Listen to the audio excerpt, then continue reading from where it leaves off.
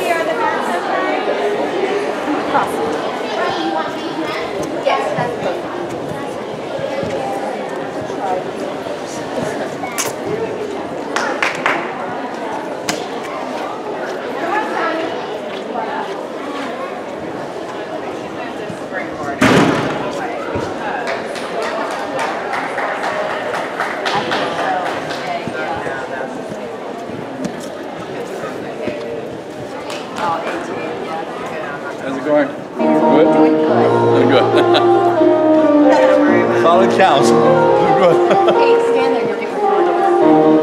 Oh my God. Hi.